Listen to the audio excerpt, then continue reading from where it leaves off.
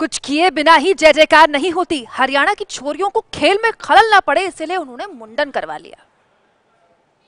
हरियाणा के हांसी इलाके की छोरियाँ जो पहलवानी में नाम कमाना चाहती हैं उन्होंने अपनी खूबसूरत जुल्फे पूरी तरह कटवा दी। हमें बाल कटवा कटवाना इसलिए पड़ा क्योंकि हम इसमें ज़्यादा टाइम लगाते हैं बाल संवारने में। और बाल संवारने की वजह से हम हमारी कुश्ती पे प्रॉपर ध्यान नहीं दे पाते उससे हमारा टाइम वेस्ट होता है। जी हाँ इन तीस महिला पहलवानों ने खेल के दौरान मिले तीस सेकंड में ध्यान भंग न हो इसलिए मुंडन करवा लिया। ये महिला पहलवान तीन तीन मिनट के राउंड के बीच मिले तीस सेकंड पूरी तरह से तरोताजा और कोच की तरकीब सुनने में देना चाहती थी।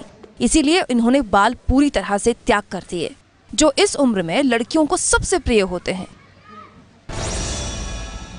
ये है एबीपी न्यूज़ आपको रखे आगे।